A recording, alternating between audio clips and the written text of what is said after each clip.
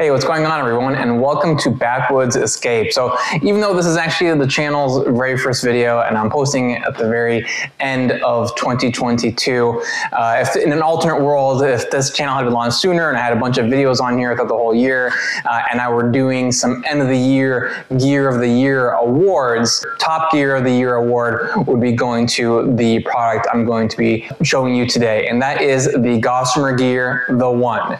Um, so this is this tent right here. It's a one person shelter and um, I use this extensively um, over this past year and um, I absolutely love this product. Um, like I said, if, if I was doing some sort of award show, um, it'd be going to this. Uh, so I'm someone, I definitely like very, very lightweight gear. I'm a little bit obsessed with ultralight stuff. You know, I know what it's like carrying a 50 pound backpack going up a, a big mountain. So anytime I can shed some ounces, I jump on that opportunity. And so one of the best ways that I was able to shed some ounces this year was using this one person shelter right here. Again, the product is called The One uh, from Gossamer Gear, and it's a one person shelter and it comes in weighing at 17.7 ounces. So super, super, super light, significantly lighter and more compact than my previous shelter, which is this one right here. Um, this is one from River Country Products. I'm not exactly sure uh, the name of the shelter, but it's a two person shelter. Uh, and as you can see right here, um, just comparing it side by side, it's um, significantly bigger, this one right here. And so it takes up a lot more space uh, in your pack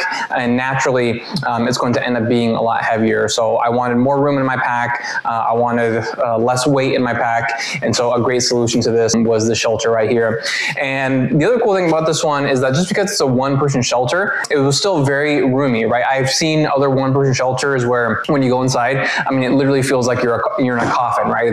The only way you can sleep is basically like this. But uh, when I lay inside of this one, um, I have plenty of room um, to my left and to my right to just lay things down, my, my other gear that I don't want laying on the ground outside and stuff like that. So it's still a very, very spacious shelter and uh, it's very easy to set up. Um, you're going to use your trekking poles as the main ways to uh, firm it up and it comes with its own lightweight tent stakes um, that you then use for all the corners and then you're off the races right there. So very, very easy to set up. And it also has a lot of really great features. Um, you know, there's a vestibule that you can use to protect yourself uh, from the elements.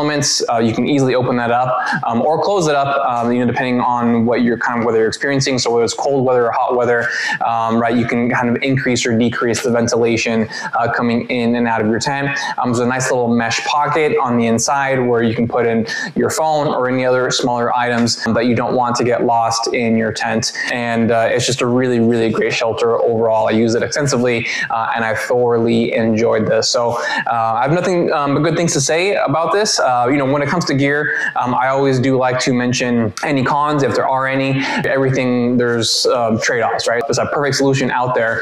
Um, and honestly, I personally did not experience any downsides to this tent.